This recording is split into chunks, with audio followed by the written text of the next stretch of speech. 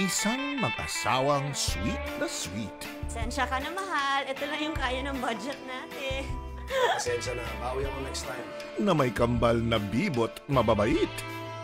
Mommy, ang cute mo dun, oh. And you're holding a vintage teddy, developed by two toy makers. Wow, I like that. Akin mo, mom.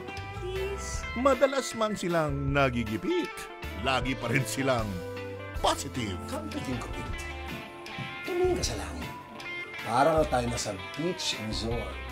Yan yung gusto ko sa'yo, mahal eh. Positive thinker ka.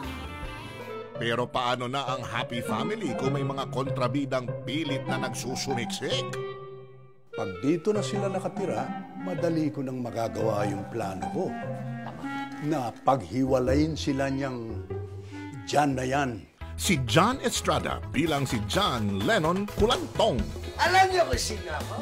Ako ang may-ari bahay ko. At si Ellen Adarna bilang si Ellen Kulantong. Princess. Princess. Kasama sina Ronaldo Valdez at Long Mejia. Uy, uy, yung tawang ganito. Ay, Sila ang pamilyang Chuck magbibigay ng good vibes sa'yo ngayong bagong taon. Ano, team ko lang tong. Fight, fight, fight! John and Ellen. Simula na ngayong January 24, Linggo, alas 7 ng gabi. Dito sa TV5. Nakala siguro, wise to, uy.